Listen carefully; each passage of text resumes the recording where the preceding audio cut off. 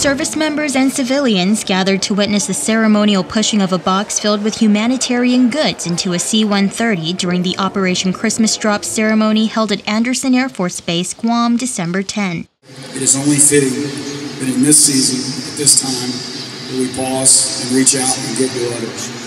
And the reward for our efforts is simple, but yet again profound. It's the satisfaction that we have labored to help our fellow men. So I'm honored today to represent the men and women of the 36th Wing, our airmen, our families, our community, and the people of this island as we recognize the importance of Operation Christmas Drop and the purpose of what we are doing together. There will always be challenges that will prove to distract us and try to bring us away from efforts such as this.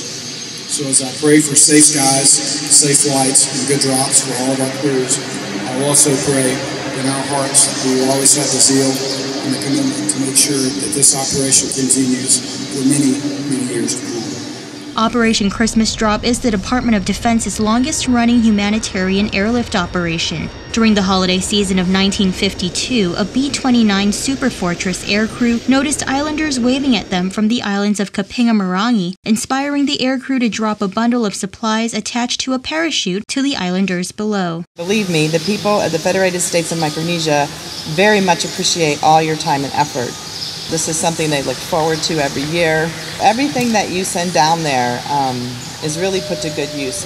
This year, Operation Christmas Drop organizers and volunteers gathered a total of 62,000 pounds of food, clothing, supplies, and various goods from the local and military communities to deliver to approximately 30,000 islanders. Service members from the Royal Australian Air Force and Japan Air Self Defense Force are also partners in the effort.